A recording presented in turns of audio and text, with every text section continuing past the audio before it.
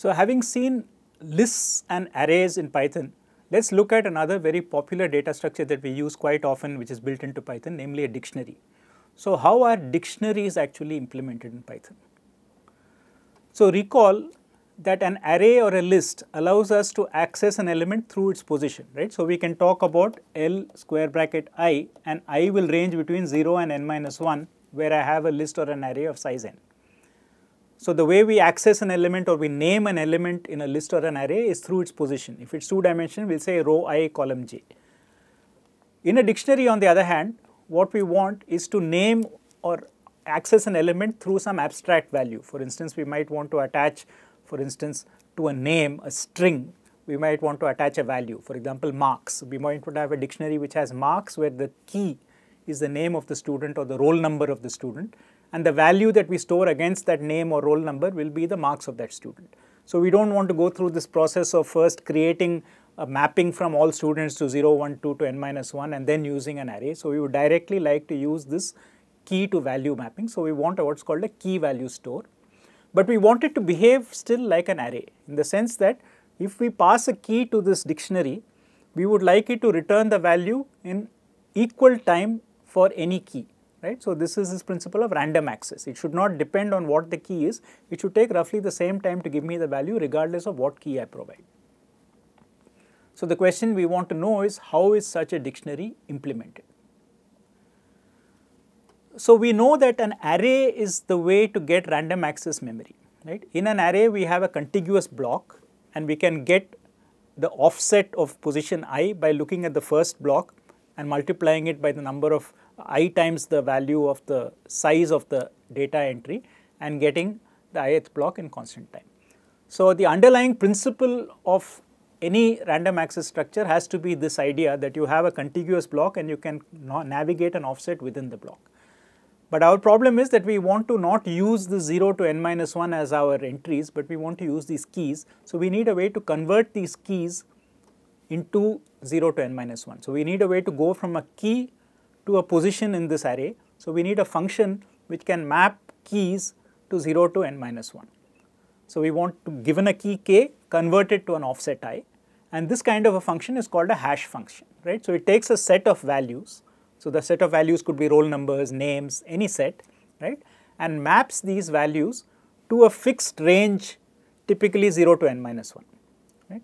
So, it takes an arbitrary set and maps it to a small range of values and usually the range of values that you map it to is going to be much smaller than the range of possibilities. So, you can imagine that if you think of all the possible names that you could have for students in a class or all the possible roll numbers that you could create using the sequences of letters and numbers that you use for roll numbers, that is a very large set, but you will use a class will have only 50 people, 100 people, 200 people, whatever, some small number of actual people. So, you do not want to have an enormous possible storage for all possible names and all possible roll numbers. So, you would actually like to map this large set of values to a small set. Right?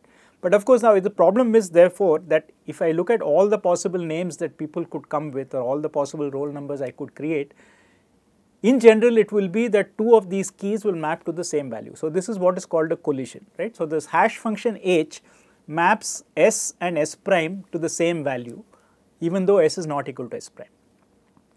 Now, this cannot be avoided because you are taking a large set right and you are pushing everything from here into a small set. So, it is not possible for everything in the large set to map to different things in the small set because you just do not have that many elements to map to. But what you would like to do is to somehow distribute this so that it is random, right. So, it should not be that if I map a name and if I map the next name or if I map a roll number, and I map the next roll number, the next roll number will go and collide as it is called, right. So, these are called collisions.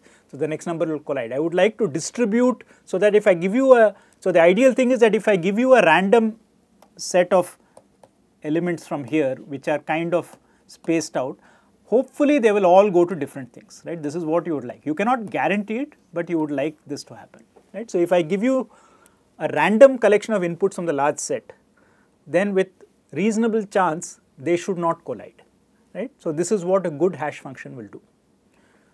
Now, just to illustrate how important hash functions are, so there is this now current industry standard called SHA 256, right. So, this is used for cryptography and other things SHA 256 refers to the fact that the output of this thing is 256 bits.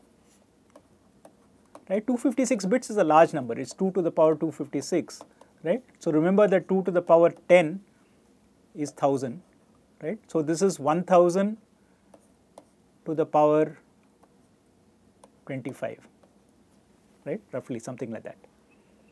So this is like 1 with uh, 75 zeros after it. So that's the space in which you are mapping.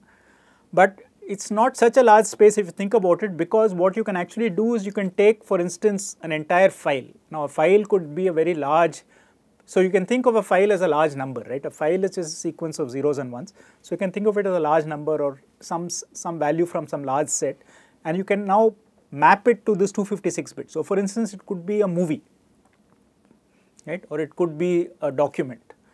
So, it could be a very large file much larger than this uh, one with uh, 75 zeros things in terms of possibilities right. So, each individual document will not be so much, but there are so many different documents. So, one application of SHA 256 which might be surprising to you is that if you do if you use a cloud storage system right? Supposing something like Dropbox for instance. Sometimes when you upload a very large file it will actually upload very fast. And the reason is that actually the system computes this SHA-256 hash. And if it detects that this hash is already present in the storage, it does not actually upload.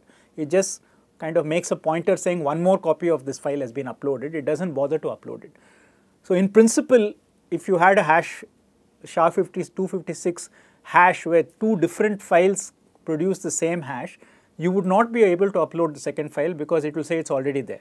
Okay. Now, in practice this does not happen. So, it just shows that the SHA-256 has been carefully designed so that these collisions rarely happen. So, the way we use this hash function as we said is we want to take the key and map it to a position in array. So, this is called a hash table. So, a hash table is an array of size n combined with a hash function which maps keys to this range 0 to n minus 1. Okay. So, the idea is that H will map the keys that you provide whatever keys they are. So, the keys are not restricted right only the range of the hash function is restricted it depends on what the keys are right. So, the ideal situation is that if I give you a new key k and I want you to store something as uh, for the dictionary d of k then you will map it to this h of k the position in the array and hopefully that place is available to you right. So, I want to say d of k is equal to v right. So, what will happen now is that I will go from k to h of k, this will give me a number, okay, this will be some number in 0 to n minus 1. Then I will go into my array, so this will be some number j say. So then I will go to position j and I will try to put this value v there. So this is how a dictionary should work. But what will happen is that sometimes because of collisions that place is occupied, right. So if there is already a value at that location, then this hash table has to deal with this collision. It can't just replace because then that old value will be lost, right. It can't put it in some random place because if it puts it in some random place, you will never find it. So, you need to have a systematic way of putting it somewhere where you will find it if you come to look, at it later. So, there are two um, ways to deal with this which have somewhat confusing names. So, the first one is called open addressing, but it is also called closed hashing okay. And here the idea is you do not go outside the array. So, what you have is that you came here, right. So, this is the place that you were looking to fill, but then unfortunately for you there is already something here, right. So, now what you do is you skip, right. So, you kind of have a, a kind of a round robin, so you do not necessarily go to the next position, but you kind of say okay if this is not there then let me go plus 10 and see if there is a place there. If it is not there then let me go plus 10. So, I just keep cycling around going forward by probing a sequence of alternative slots until I find a free slot, right. And in that free slot, now I must of course have one extra piece of work, I must write the key also because I need to know that this piece belongs to that key, but essentially this is the way you work. So, you create an array which is large enough so, there will be some extra slots. So, even after these collisions, you will still find some extra space. So, if you anticipate that you will need say 1000 entries in your dictionary, then you might put uh, say an array of size 5000. So, you have a lot of free space to play with for this kind of collision hashing, hashing and avoiding collisions. The other option is to do what is called open hashing. So, this is now the confusion, right? Open hashing and open addressing are not the same. So, open addressing means you are working within the same array. You are moving around to a new position and hoping it is free and you're kind, it's, so it's like you get into, say suppose you get into a parking lot, right? And you find that there is no space for you to park in that particular row. Then you go out and you circle around and you enter another row and you try to look for a space. Then you go out, circle, and eventually hopefully there is a space, you will find it, right. So, that is more like closed hashing. You just stay within that parking lot, right. You are looking for a free slot. So, the free slot, this first slot you tried to find was booked. So, you go around looking for the next free slot by randomly wandering around, not quite randomly, but you move around in some fixed sequence so that you can retrace that sequence later on when somebody comes looking for this value again. Now in open hashing on the other hand, remember that you get into this and this is my array, right. So in closed hashing, I actually store the value in the array. Now in open hashing, what I do is I do not store the value in the array. Instead, for each position in the array, I maintain a list. So the actual storage happens somewhere outside this hash table. So the hash table is only a collection of what you might call pointers, right. So if I hash key to a position in the array, the array tells me, oh, go and look there. That is the list of all values which had the same hash value as the key you had. Go and find it, right. So I will maintain this elsewhere.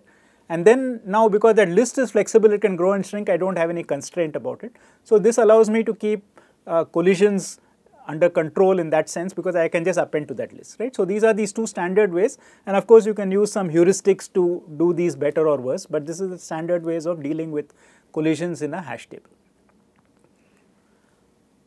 So, you might have wondered when you are taught to use dictionaries in Python, one of the things you are told is the key to a dictionary must be immutable. You cannot use for example, a list as a key for a dictionary. Why is that the case? Well, now you know the answer because in order to find the place where the value is stored, the hash function has to be applied. So, the hash function is applied when it is stored. At that point, the key has a value. Now, if it is a mutable data structure, the value can change. So, when I come back later on and I try to hash that value, it will be a new value and therefore, I will not be able to find that position in the dictionary anymore. So, I must guarantee that the value that I used inside the key remains fixed because otherwise the hash function cannot return the same value in a guaranteed way each time, right. So, this is one reason why Python insists that dictionary keys must be immutable so that the hash value remains fixed across multiple visits to that key when you enter that same dictionary. So, to summarize dictionaries are extremely powerful data structures which allow you to store values against keys and the way you implement a dictionary is by actually using this hash function. So, underlying it there is an array of some sort which has a random access storage from 0 to n minus 1, but you want to take a key and you want to put it at position i, right. So, you want to take key and you want to map it to i belonging to 0 to n minus 1 and this is that function h which is a hashing function. So, you want to design a good hash function which you know randomizes and does not collide too often. So, creating a good hash function is a lot of work, right. So, the SHA-256 which I mentioned was a major effort. It was a major effort to come up with this function which would give you an output of 256 bits and which had all the desirable properties. So, to come up with a good hash function requires a lot of mathematical reasoning about the function and we are not going to get into that. So, we assume that we have a hash function and in fact in Python there are hash functions, you know there are hash functions for different immutable types like strings and numbers and all that. So you can actually create your own hash table if you really want by using the Python hashing function. But when we use a hash table, one of the things that we need to do is to deal with collisions because it is eminently possible that at a different point in time, two keys will give you the same location inside that array that you are using. So either you can use this probing technique which is to just move around the array looking for a free space which is called open addressing or closed hashing depending on what you want to call it. Right? So think of it as closed hashing means your world is closed, you cannot move outside this array. So you are restricted to being inside this array. Whereas open hashing says actually the place that you are going to go to is somewhere outside. So each of the slots in the array actually points to a list of values which share the same position. So if you have a co collision you just move and append to that list. So each each position i now maps to a collection of values. So, you first come here and then go there and it still does not take much time. okay, because you assume again that you have a good hash function. So these collisions are rare, so those lists will be ideally small. You don't want everything to be collecting in one list, which would happen if all your elements collide. So if you have a reasonable hash function, it will distribute the values across these lists. So searching those lists will not take much extra time. So there are many heuristics and optimizations which are available for dealing with collisions, which we will not get into.